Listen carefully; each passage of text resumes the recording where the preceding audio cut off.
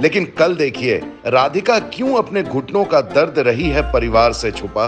नहीं जाना उसे किसी भी डॉक्टर के पास। मैं सर्जरी वर्जरी नहीं कराऊँगी। मुझे किसी पे बोझ भी नहीं बनना है।